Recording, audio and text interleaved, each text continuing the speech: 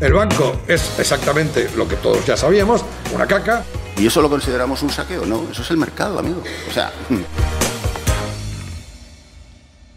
Ante el inicio de la temporada de resultados del primer trimestre, la peor que se recordará en muchísimo tiempo debido al coronavirus, la CNMV no debería levantar la prohibición a los cortos. El organismo regulador vetó las posiciones cortas hace ahora un mes. El viernes se cumple la fecha límite de ese veto y es muy posible que se extienda. Y es que por mucho que se anticipen noticias empresariales muy negativas relacionadas con los resultados y por mucho que éstas pudieran estar descontadas, es innegable que la CNMV no debería dejar a los cortos sin control porque podría propiciar una nueva debacle bursátil. Esta semana publican sus resultados las principales entidades financieras de Estados Unidos y la semana que viene comienza la fiesta en España.